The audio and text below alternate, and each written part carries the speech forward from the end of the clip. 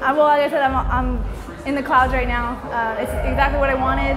Three round fights kind of suck with, uh, I mean, it's, it's so great to finish in the first round and uh, just show everybody that I'm, you know, here to stay in featherweight division and take over and just keep making progress. So, feel great. Well, any, any kind of finish is what I want. Um, it shows the type of fighter that I want to be. You know, I don't want to just win for the sake of winning. I want to put on a show. I want everyone to want to watch me, and I want to show that my skills are that much better than you know my opponents, and that I could put it away. I'm ready for whatever Invicta wants to give me. I mean, you know, I would say the title's open right now, but I understand I'm only 3-0. But um, give me the, the next step to get closer to the title, and uh, I'm, I'm there.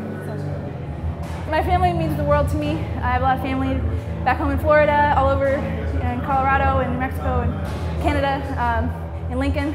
So they're all, they're all my family and a couple of them were able to make it out. And uh, it's, it's so wonderful to share all the experiences with them.